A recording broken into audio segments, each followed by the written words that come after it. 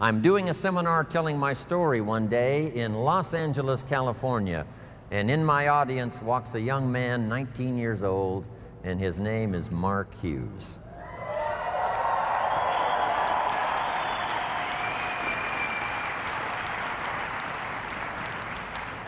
Now, let me tell you the big impact Mark Hughes had on my life. Make this note now. Mark Hughes, during the time he knew Jim Rohn, Mark Hughes taught me much more than I taught him. I knew him from age 19 to age 44. It's true, I was his first mentor. I shared with Mark my experience as a health and nutrition distributor, starting at the bottom and going to the top. I shared with him what I thought about this type of marketing, person to person. And I'm sure Mark used some of that when he put the products together, started the company in 1980. So I was a bit of a counselor to Mark Hughes, his first mentor. When he attended my seminar, I started sharing those ideas of personal development. When Mark sat in that first seminar, here's what I shared. You can have more than you've got because you can become more than you are. If you just remain how you are, you'll always have what you've got. But if you're willing to make changes, the next five years of your life can be totally different than the last five. If you don't change, chances are excellent the next five will be like the last five. Those philosophies I shared with Mark. Once in a while in his testimonial, here's what he used to say Jim Rohn was the first person that gave me the idea that in spite of my background and poor circumstances and lack of education, in spite of all of that, I could make changes and become successful. Jim Rohn was the first person. You can't imagine how that made me feel. Not only all those years, but all these years.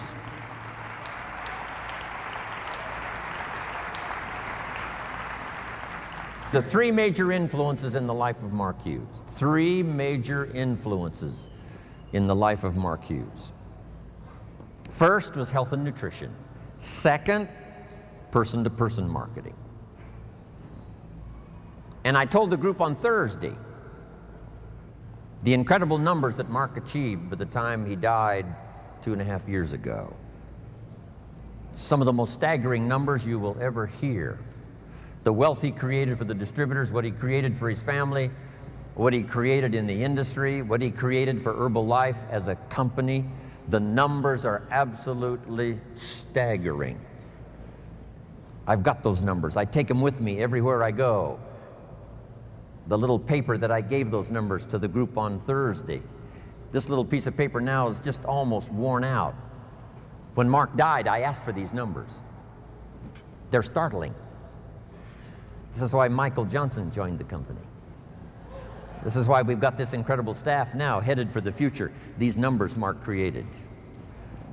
And if you know somebody that was in the meeting on Thursday, that unique group that qualified for Thursday, if you know somebody that was in that group, and if you treat them with great respect, they will probably share with you these numbers, these numbers.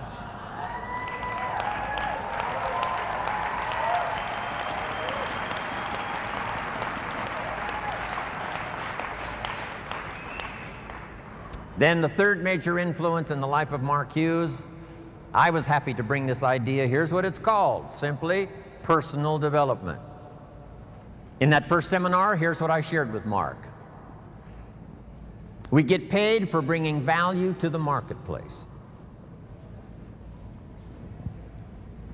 You don't have to work on the marketplace, you only have to work on yourself to become more valuable and learn the skills. Let me give you a list of those skills that I learned that you can learn in Herbalife that can change your life. Here they are. Number one, getting customers. Age 25, I knew how to milk cows, didn't pay very well. Then my life started to change. Health and nutrition. The product I sold was similar to Formula One, Formula Two, Herbalife. Protein wafers to snack on all day long, help you lose weight.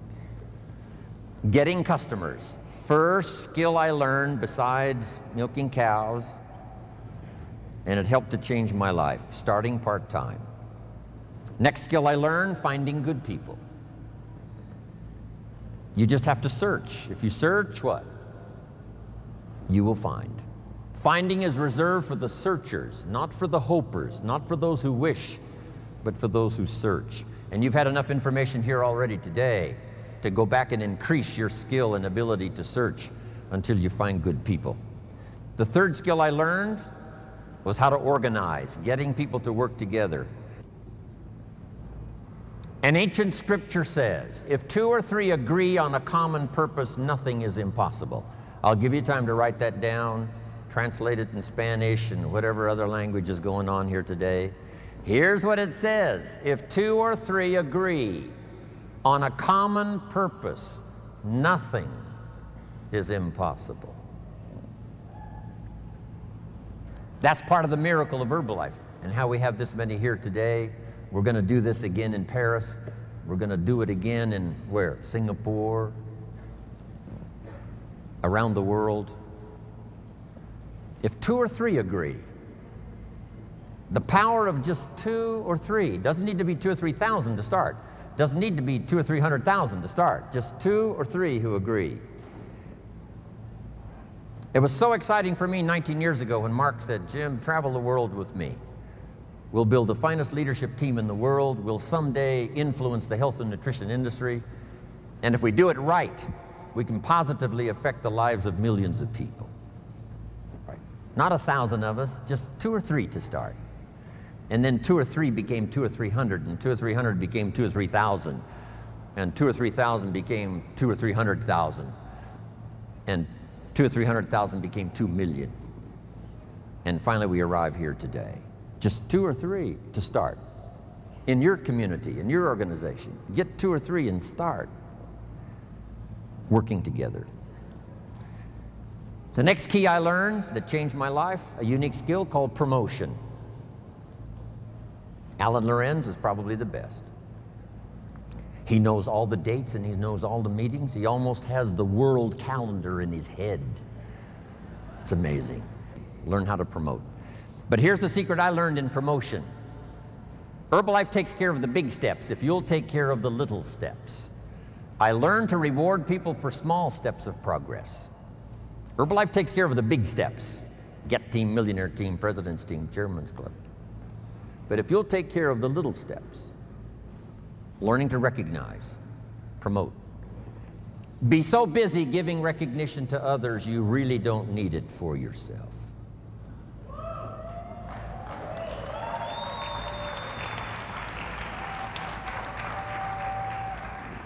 Next, the skill that I learned during those formative years of being a distributor, and that's communication.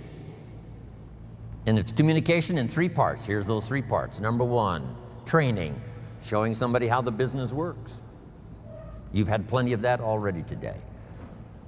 But here's the next one, which I'm trying to do a bit of as we finish here today. And that's called teaching. And I've just used two words just to separate the two. Training, showing somebody how the business works. Teaching is showing somebody how life works.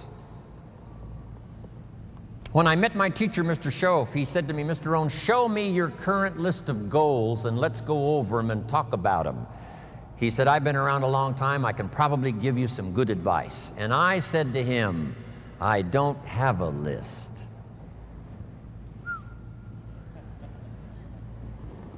He said, Mr. Rohn, if you don't have a current list of your goals, he said, I can guess your bank balance within a few hundred dollars, which he did. And that got my attention. I said, You mean my bank balance would change if I had a list of goals? He said, Drastically. I said, Then I'm ready to learn how to set goals. He taught me, and it changed my life how to set goals. So I'm asking you not only just to be a trainer, I'm asking you to be a teacher. Teach somebody leadership skills, teach somebody communication skills. So we need life skills and business skills, and you can learn to do both, even if you're fairly new. Here's the most important on communication learning to inspire, helping people see themselves better than they are, helping people see the future helping people see not just with their eyes, but help them to see with their mind, insight. Seeing with your eyes we call sight, seeing with your imagination we call insight.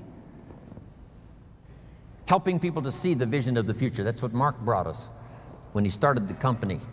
In those 20 years he was with us, he helped us to see the future. Next, help people to see the possibilities. Describe to them the potential, what's available, using testimonials. There's so many testimonials now, people that started with nothing. Sarah Alfaro started with a brochure, now has this huge organization, Mexico and US. A brochure the inspiration of stories, the inspiration of testimonials. It inspired me to spend the rest of my life listening to the testimonials. You know, I've been around Herbalife now 23 years. I'm now looking forward to the next 23.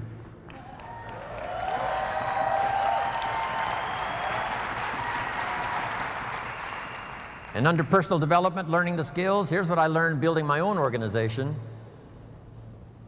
Learn to work with the people who deserve it not the people who need it. Because that's the way life works. Life doesn't respond to what we need, life responds to what we deserve. It doesn't say if you need a harvest, you'll get one. It says, no, if you plant in the spring, you'll get a harvest in the fall. Reaping and harvesting belongs to the planters, not to those who need, but to those who plant. Then here's the next key show people how to deserve your time.